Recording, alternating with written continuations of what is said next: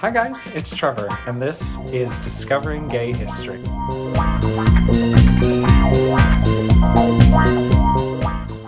I am currently recording this. Uh, I believe it's day six of the Black Lives Matter protests. I'm going to put in the links below, some places to donate, some petitions to sign, some things to do that you can do from the comfort of your own home if you don't feel um, moved to join a protest or safe to join a protest. That's totally fine.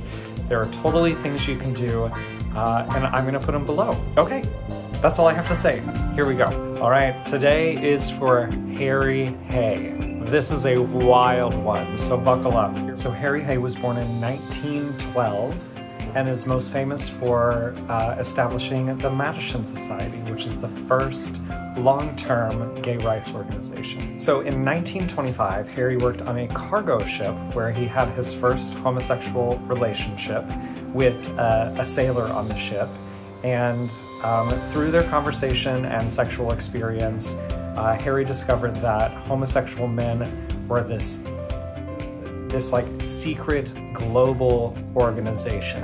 And that's sort of what planted the seed for the Mattachine Society in, in a few years to come. So Harry Hay went to Stanford where he studied law for a few years. There he discovered the gay cruising scene and uh, gay subculture. So in the 1930s, Harry began to attend same-sex dances. Uh, he began to drink alcohol, the scandal. He also had a sexual relationship with the Prince of Kent, Prince George. I mean, this guy, one, got around, two, his, his life is like some spy romance novel. It is wild. So in 1932, Harry got pretty sick and he had to drop out of college. He moved to LA and he became a voiceover actor and a screenwriter for a little while. So while he was working and meeting people in LA, he started another relationship with Will Geer, who you might know from The Waltons. In 1934, Harry and Will joined the Communist Party.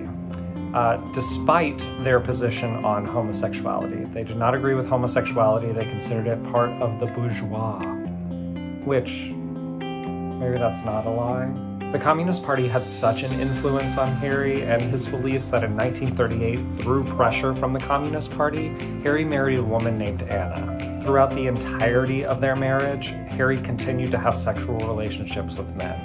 In 1940, um, he participated in a study with Dr. Alfred Kinsey. You might be familiar with the Kinsey scale. So at a party in 1948, Harry conceived this idea of a gay men's homosexual group. Uh, he floated this idea around while everyone was drunk at this party and, and was calling it the call. Um, however, the next day when he went to make some moves on creating this group, all the men who seemed interested were suddenly uninterested. But despite that, on November 11th, 1950, Harry Hay and three other gentlemen had the first meeting of the Mattachine Society.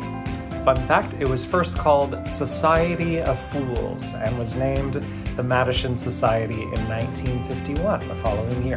Harry later informed the communist group that he was a part of of the, the formation of the Mattachine Society, and they expelled him from the party. Um, they did not accept homosexual members.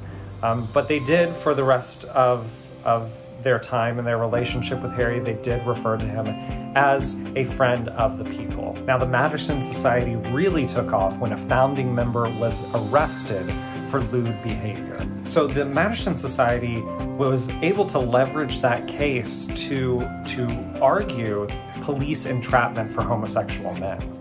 Um, and it actually worked. So the way that they won this case was Jennings, a founding member of the Mattachine Society, admitted to being homosexual.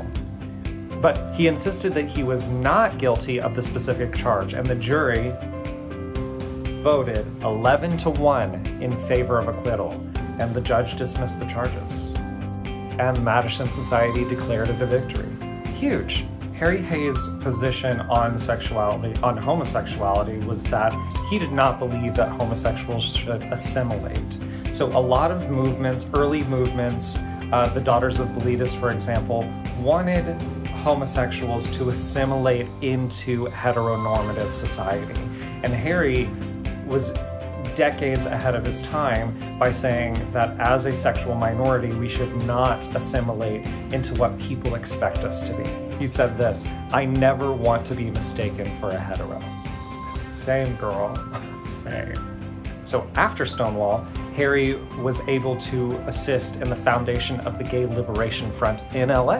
And by 1971, Harry was living in Albuquerque and was setting up a, a, gay community there. He he set up the first gay pride parade in Albuquerque. He set up the Lambdas, which is an LGBTQ focused uh, support group. And in 1979, Harry established the Spiritual Conference of Radical Faeries. Hell yeah. Sign me up. Let's go. So 220 men showed up to the first gathering and they would participate in workshops called fairy circles and they would discuss things like nutrition and botany and massage and gay politics. It sounds like a gay old time to me. Harry died in 2002 from lung cancer. He is one of the 50 names on the Stonewall Wall of Honor, and you should go check it out, just like all of the other names that I've talked about on this series. Harry, you're doing the work, girl. Damn. Hey, don't forget to like, subscribe, comment, and share. All right, we'll see you tomorrow.